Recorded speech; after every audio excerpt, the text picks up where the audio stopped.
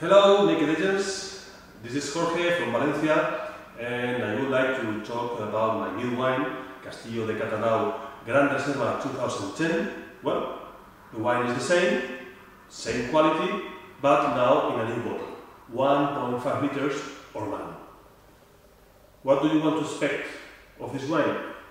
The same.